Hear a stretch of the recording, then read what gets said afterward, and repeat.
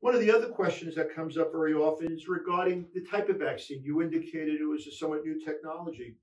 And this doesn't use dead virus or live virus like some of the vaccines. It uses something we call it messenger RNA. And I know that confuses people. Can you explain a little bit what that is and why that should not give anybody any concern? It should make them feel more comfortable, actually.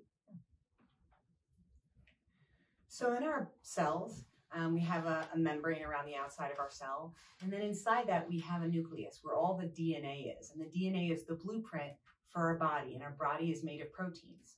Um, but the DNA stays in the nucleus. And when it wants the body to make a protein, it makes a little piece of messenger RNA. I like to think of it like almost an ice cube tray with a pattern in it.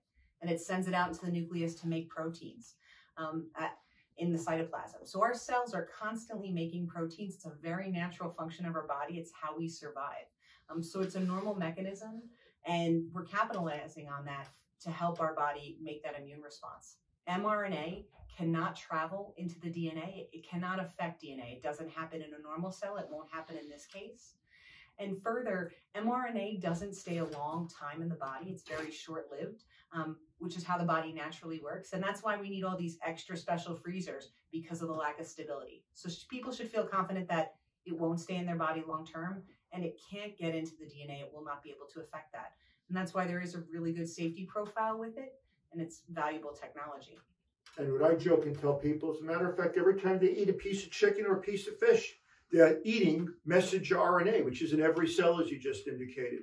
I just want to close with a comment about this vaccine compared to the flu vaccine. We'll all become very used to taking the flu vaccine every year. And actually, every year, as you probably know, the flu vaccine is modified and it's different based on the various strains of flu that come out at that time. So every year, effectively, we're coming out with a brand new flu vaccine, and people aren't as concerned about that. Not only that, the flu vaccine has been criticized because it's not 100% or 90% effective. It's only 60 or 70% effective some years.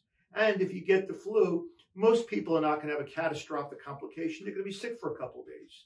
Well, compare that to this vaccine, which isn't 60 or 70% effective. It's 95% effective and very likely might prevent you from dying of a horrible disease. All the more reasons why all the experts in all the fields and whatever persuasion feel that this vaccine is really critical. Christine and I have been fairly careful with our masks during this interview, and we continue to be. However, as both of us are vaccinated, we're soon at a point where when people are vaccinated in the same area, we know the risk of transmitting disease is effectively nil, and that's how we're going to get back to normal. However, in the interim, please, you must socially distance, wear your masks, and let's all help. We're going to be heading out of this pandemic. And in closing, I would love to remind patients that vaccination is really for everyone. Uh, people who are worried that they have a serious disease and their immune system might not be strong enough definitely should get vaccinated. It's important to them. Um, it may not protect them fully, um, but it's something that's going to help them. And that's also a reason why people who are healthy should absolutely get vaccinated because the healthy people reduce the transmission and we're helping protect the people whose immune systems may not be strong enough to fully develop vaccination.